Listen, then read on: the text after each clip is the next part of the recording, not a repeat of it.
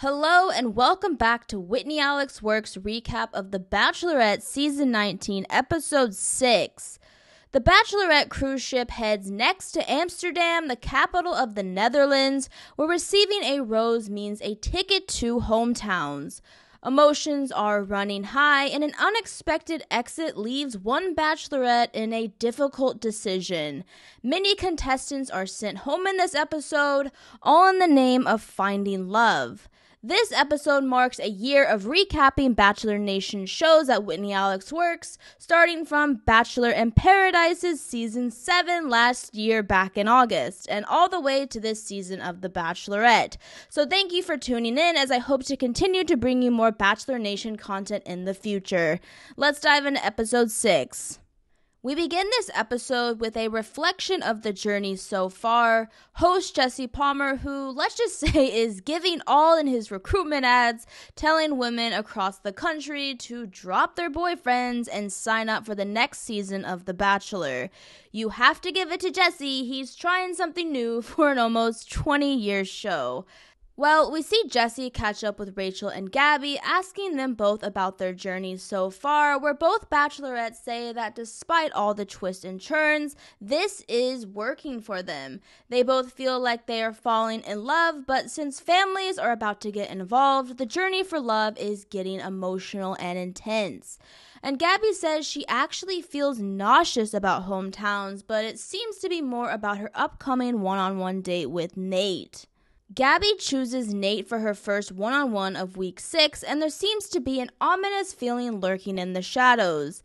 Nate and Gabby are seen walking down the streets of Amsterdam as Gabby confesses to the cameras that she is terrified to become a mother, knowing Nate has a young daughter, and she feels she is not ready to immediately step into that role. As they sit on a bench, Gabby erupts into tears and tells Nate just as much, saying she can't move forward with him despite her growing feelings, citing that she is not ready to step into the role and have the responsibility of becoming a mother. They are both emotional, as Nate understands and thanks Gabby for being honest. And again, this breakup is highly emotional, as it's just one of those situations that feels like it was both out of their control, and despite their growing feelings, it just wasn't meant to be. And Gabby then says goodbye to Nate, leaving 10 men remaining overall and 5 left for Gabby. Meanwhile, Rachel chooses Zach, his second one on one date with Rachel, the first back in week three, and they meet up in a field of tulips and greet each other with a kiss. They both have tulip fever as they enjoy their date together, taking Polaroid pictures, riding bicycles, buying wooden clogs, and some more kissing, this time in front of a windmill. And we know the reference of the windmill, a scandalous symbol in Bachelor Nation, bringing us back to Hannah Brown's season. But of course, this is not fantasy suites yet, and Zach and Rachel head to a traveling hot tub, this time placed in the middle of a tulip field, where they connect further and kiss some more. Rachel and Zach are in a corny bliss where Zach is ready to introduce his family to Rachel as she feels like Zach could definitely be a contender for her final rose.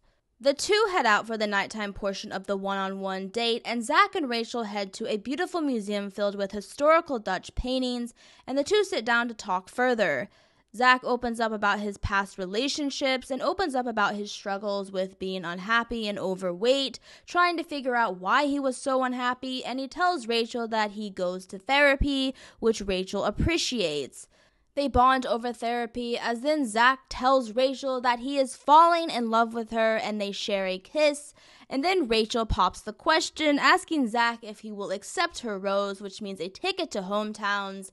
And he, of course, says yes, securing him the first spot for next week. Afterward, they dance to a string quartet and enjoy the rest of the date together, blissfully falling in love with each other. We then see Gabby tearful and upset about sending Nate home, and she heads in to talk to her five remaining men. She tells them she sent Nate home and it has really affected her, and she knows that despite the real and raw connection, it just wasn't meant to be. The five remaining men console her, and Gabby is grateful for the comfort.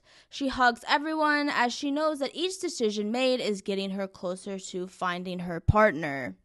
We next see Gabby and her men heading to the group date where things get interesting and pretty awkward fast. They have a sex date with a Dutch woman who is ready to talk about sex with leather and whips. The American men are all shy all of a sudden as they get questioned about sex and how do they feel about certain sexual acts. The goal of the men is to avoid the questions, which they do pretty well, but they don't get out of getting tickled with feathers and kissing with whipped cream. And don't forget about the hot wax, as each man has their own safe word. Spencer's is the best with his being Albuquerque, and despite the awkwardness at the beginning, Gabby and her American men have a nice time together. But just when things are going well, another twist lands in Gabby's lap. Before the after party, Jesse Palmer knocks on her door and tells her that one of her men had to suddenly leave, and it's none other than switching sides Logan.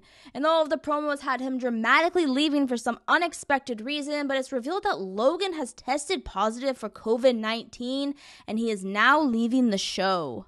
Jesse then tells Gabby for health reasons the after party is canceled and he goes and tells the other men just that. And everyone is left confused and saddened, and Gabby is disappointed, hoping that she could have had more time with everyone before making a conscious decision about hometowns. But just like that, all the drama that Logan caused last episode, and he is just gone all of a sudden, never to be seen again.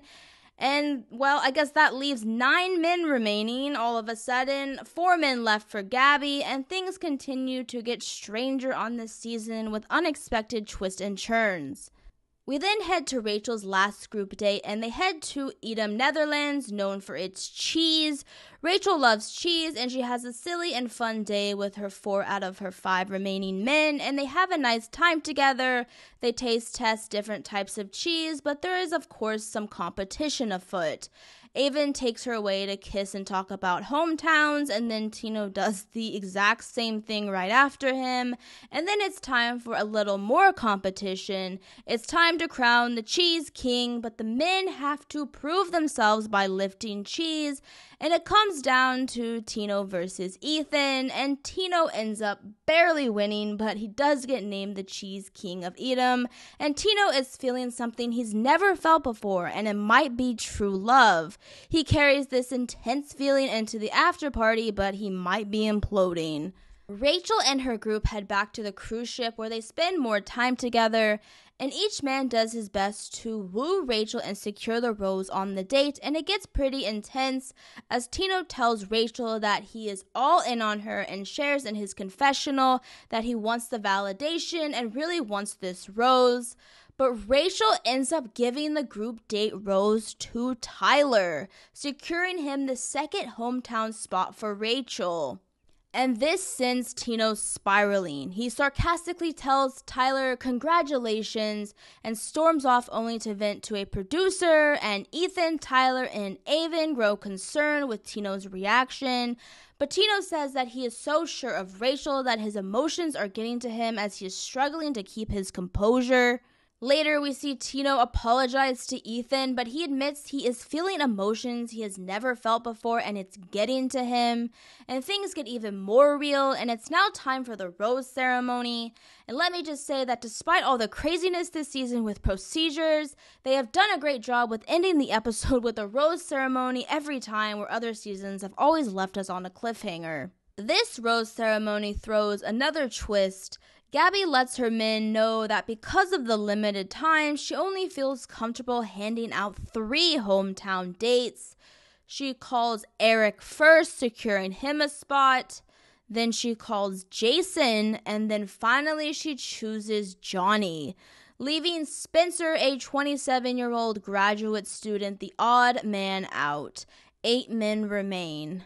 On the other side, Zach and Tyler are safe for Rachel. She picks up her first rose and calls Aven first, and then she pauses and then calls Tino, securing him the last rose for hometown spots.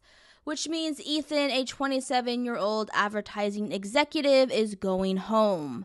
Seven men remain, three spots for Gabby, and four for Rachel. Next week is Hometowns, where it seems like usual, some family members give the lead a hard time. And once you involve families, the relationship inevitably changes. Thank you for watching Whitney Alex Works recap of The Bachelorette Season 19, Episode 6. If you enjoyed this video, please like and subscribe at Whitney Alex Works for more videos in the future. See you next time for Hometowns.